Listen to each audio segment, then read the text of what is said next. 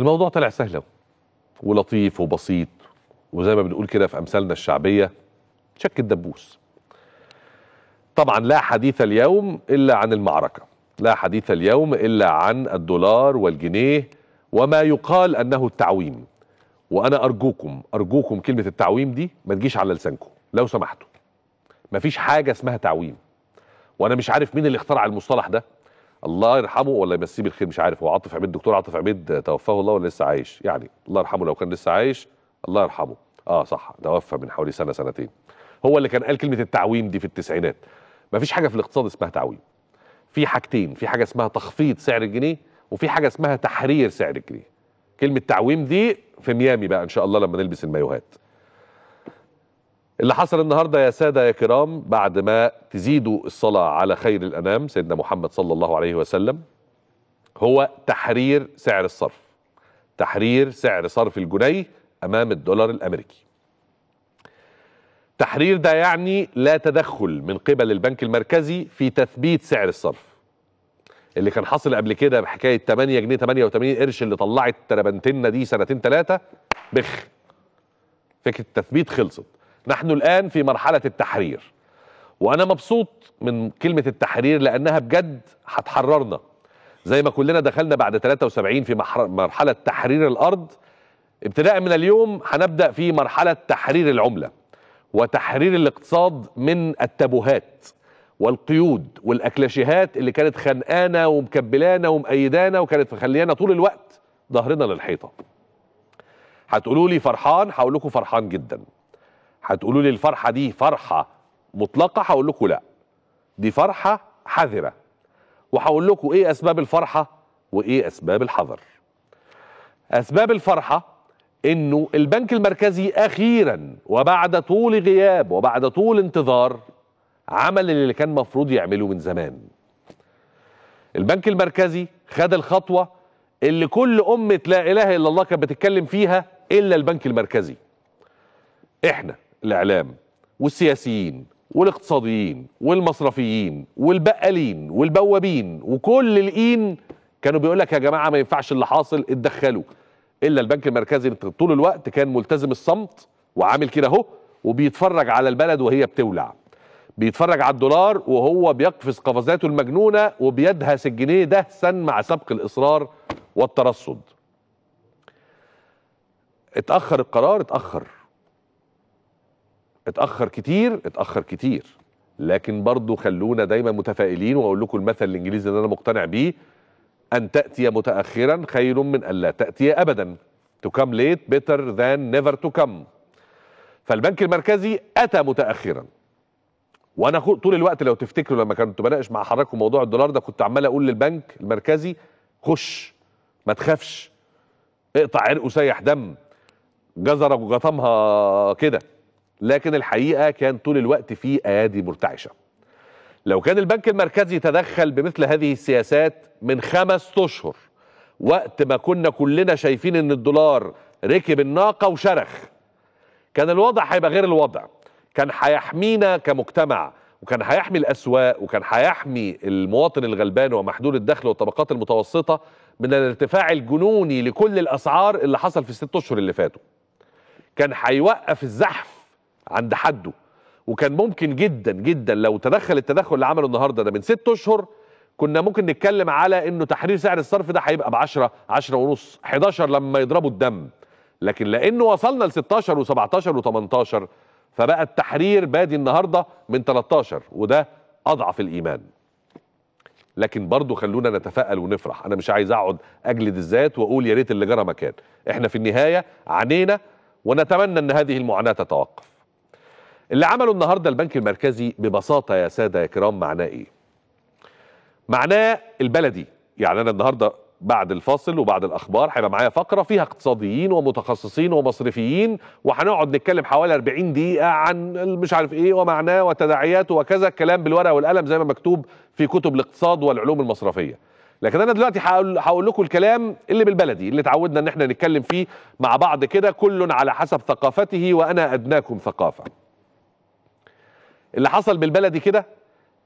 إنه البنك تحول إلى شركة صرافة. ركزوا معايا كده وبالراحة وخدوني على قد عقلي. معنى اللي حصل طبعا الكلام ده مش رسمي ما طلعش على لسان محافظ البنك المركزي لكن اللي أنا بقول لكم عليه إنه الواقع اللي هيحصل ابتداء من يوم الحد اللي جاي إنه هنتحول إلى بنك بنك يعني شركة صرافة. إزاي؟ إزاي؟ اولا هيشتغل لتسعة بالليل فبالتالي هيقفل الباب على شركات الصرافة اللي كانت بتبتدي تشتغل وتهلب من بعد الساعة 2 3 الظهر بنوك تقفل والقصة تفتح في شركات الصرافة. فالبنك دلوقتي مفتوح لك رسمي شرعي فهمي نظمي لتسعة بالليل. طب وال weekend؟ البنك فاتح weekend جمعة وسبت. بس ما أعرفش الجمعه والسبت لتسعة بالليل ولا لا؟ ما عرفناش المعلومة دي. تسعة بالليل برضو؟ طب هايل هايل. يعني سبعة في سبعة لا مؤاخذة. سبعة أيام في الأسبوع من 8 الصبح 9 الصبح البنك من ساعة ما بيفتح لحد 9 بالليل. يعني مالكش حجة. ثلاثة ليه البنك هيتحول إلى صرافة؟ لأنه هيتعامل في العملات الأجنبية بأ- بآليات العرض والطلب. زي ما حضرتك بترفع سماعة التليفون قبل كده على شركة الصرافة وتقول لها بكام النهارده؟ هتقوم رافع السماعة الثانية بس السماعة القانونية السماعة الشرعية السماعة اللي مش متراقبة السماعة اللي انت مش خايف ان انت تتقبض عليك وانت بتعملها زي ما كان بيحصل الأسبوعين ثلاثة اللي فاتوا. هتقوم رافع السماعة على البنك وتقول له يا بنك صباح الخير الدولار بكام النهارده؟ هيقول لك ب 13 ونص ب 14 ونص ب 15 أو ب 12 هتقول له طب بناء على إيه؟ هيقول لك بناء على وضع السوق النهارده والعرض والطلب. أنا عندي دولار قد إيه والطلب عليه قد إيه؟ فطبيعي إن أنت تصحى الصبح تلاقي الدولار نزل أو طلع. في ناس فهمت غلط انه البنك لما فتح النهارده العطا ب 13 جنيه فاهم إن البنك ثبت الدولار ب 13 جنيه وده مش حقيقي. عارفين كده لما يجي حد لما يجي حد يعمل مزاد؟ مثلا أنا هعمل مزاد على الموبايل ده فبنقول يلا بسم الله الرحمن الرحيم هنفتح العطا هنفتح المزاد. المزاد على الموبايل ده. عشان أعمل مزاد على الموبايل لازم أحط سعر. سعر رمزي كده نبتدي من عنده. مش هنبتدي من جنيه. ما هو الموبايل ده أقل حاجة له مثلا 5000 جنيه. مثلا. فمش هنبتدي من 1000 من جنيه. فهقول لكم يلا بسم الله الرحمن الرحيم 5000 جنيه. هل ال 5000 جنيه ده سعر الموبايل؟ لا. ده ده الحد الأدنى اللي أنا بقول لكم يلا نلعب من عليه. فنخش بقى النهارده 500 5 200 لا والله يقف عليا ب 4 900 أقول له لا يفتح الله. مش عارف إيه. هو ده اللي هيحصل في البنوك ابتداء من النهارده. فبالتالي لو حضرتك النهارده تعاملت مع أي بنك من بنوكك كان هيرد عليك الموظف بتاع البنك يقول لك كده. يقول لك إحنا دلوقتي بالظبط عاملين زي شركات الصرافة. كل ساعة برقم وبسعر. متوسط متوسط المعاملات اللي حصلت النهارده في البنوك بتتكلم عن 13 ونص 13 75 بيع و14 30 ل 14 ونص شراء. يعني حضرتك تروح تدي دولار للبنك البنك يشتريه منك ب 13 70 13 50 13 80 على حسب رزقك. انت عايز تشتري دولار من البنك يبيعه لك ب 14 30 أو 14 ونص. ده متوسط المعاملات اللي حصلت النهارده. المعاملات اللي حصلت النهارده قليلة؟ كتير جدا. وعلى المستويين. المستوى الأول كل الموردين كل السادة المستوردين راحوا الصبح جري على البنك كله خلص كل تع- تعاملاته المالية اللي كانت متعطلة بقى لها شهر واثنين وثلاثه قالوا له عايزين نحول نص مليون دولار اللي مش عارف إيه؟ حول. عايزين مليون دولار نحولهم لإيه؟ نستورد إيه؟ حول. كله خلص تحويلاته. الإيجابي كمان إنه كمية الدولارات اللي دخلت النهارده واللي طلعت من تحت البلاطة من قبل بعض المصريين اللي زينا اللي كانوا محوشينها وراحوا حطوها في البنك كبيرة جدا. وكل واحد يكلم مدير الفرع اللي هو عنده حساب معاه ويسأله في التليفون رغم إن أنا عارف دلوقتي ان أنت هتلاقيهم طلعان تربنتينهم ربنا يكون في عون الموظفين بتوع البنك مش عارف يعملوا إيه ده. كانوا مفحوتين الفترة اللي فاتت. ما بالك دلوقتي بقى يشتغلوا من 9 ل 9 وسبعة أيام في الأسبوع. يعني أنا في رأيي استقالات جماعية قريب قوي موظفين البنوك. المهم فكمية الدولارات اللي دخلت النهارده وده اللي أنا كنت بقول لحضراتكم قبل كده إن الدولارات اللي موجودة في البيوت ثلاث أربع خمس أضعاف الدولارات اللي موجودة في البنوك. التقديرات الرسمية بتقول من 30 ل 40 مليار دولار. وأنا بقول لحضراتكم إن ما في بيوت المصريين سواء المصريين العاديين أو المضاربين أو المستثمرين أو المحوشين أو المدكنين يفوق كده بكتير. ممكن يوصل ل 50 60 مليار دولار. تخيلوا لو نص تخيلوا لو تلتين حاضر. لو نص أو تلتين الفلوس دي دخلت البنوك وده اللي ابتدى مؤشراته هتحصل النهارده. شوفوا الحصيلة الدولارية هتبقى في عند البنوك قد إيه والاحتياطي بتاعنا يزيد قد إيه وتعاملاتنا تبقى عاملة إزاي. وبما إن المعروض هيبقى كتير عند البنوك غصب عن عين التخين الدولار هينزل. وأنا وأنتم ويا رب يحييني ويحييكم وأنا بقول لكم إنه الدولار في الفترة اللي جاية هينزل عن 13 أنا بقول لكم وبقولوا تامر بيخرف تامر بيهجس تامر بيبقى اتغطى وأنت نايم قولوا اللي أنتوا عاوزينه.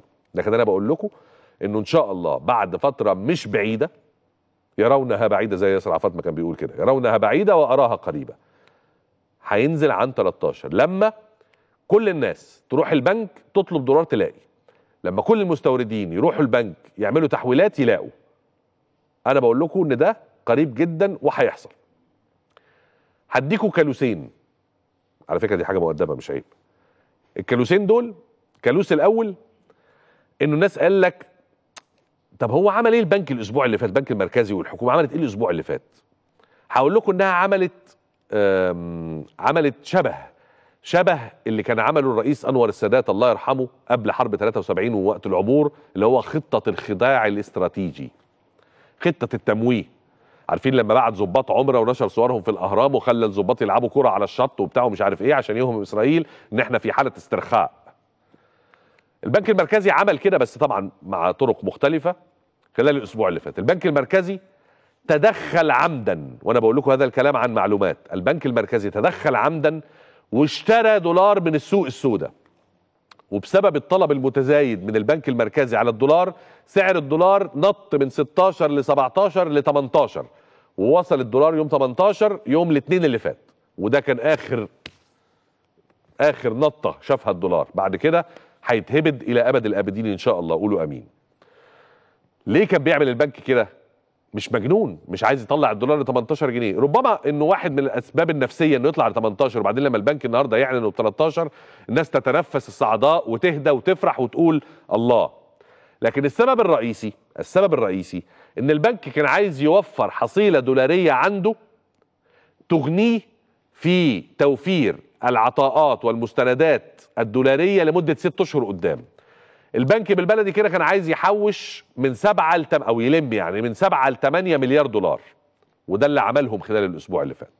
ثم وده دليل على التنسيق الجيد اللي لأول مرة نشوفه من سنوات طويلة جدا ما بين الحكومة والبنك المركزي.